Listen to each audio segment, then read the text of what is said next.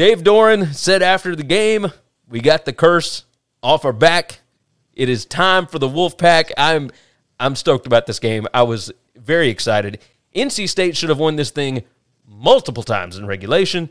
They had 31 first downs to Clemson's 10.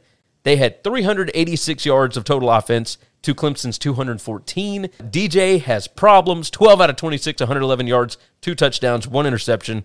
Uh, Devin Leary looked fantastic. Tim Beck had a beautiful offensive game plan. Give me your thoughts on what went on in Raleigh, North Carolina.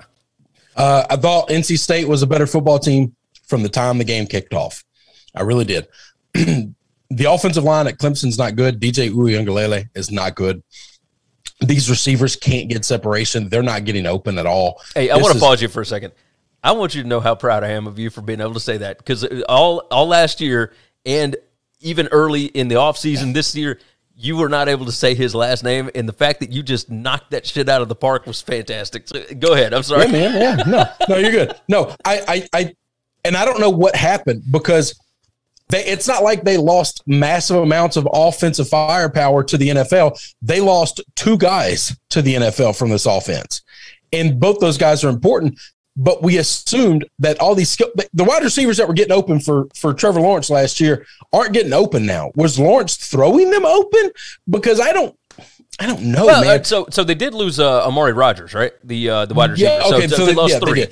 Yep but they they were hanging 40 on folks and now now they are struggling they are fighting like hell with everyone they play to get 14 in regulation yes it, it's really insane that offensive line is terrible they are awful and i they're don't bad. know they're I don't bad. Know the and they're all five stars they're all four and five stars well okay so here's here's a little bit of the issue with that they're they have not recruited well at the offensive line position they they don't have a bunch of five stars on the offensive line they got a bunch on the defensive line they got a bunch in other spots. But remember how picky Dabo has always been with the kind of guys that he wants to bring into his program and the kind of guys that he wants to develop. Part of this is offensive line development. They don't have it when when Jeff uh, Scott when Jeff Scott left. I think he took a lot of that offense with him. I, Tony Elliott, I don't feel like was the brains behind that that development process that they went through. Who knows? Like, I, listen, there'll be there'll be a lot of folks There'll be a lot of folks losing money right now. And I'm not talking about in bets, I'm talking about in jobs. Yes. There are gentlemen that were big name candidates for big boy jobs, and those uh, resumes are getting put to the side. Yes. Right no. now. Tony Elliott. And Tony Elliott's one of them. Yes. Yes. Big time. Big time. So, yes, Clemson goes down. And uh, look, you called it. I mean, you you said it. I had a tough time believing that Clemson could be this bad they are. I, they really are. Like there they is really no.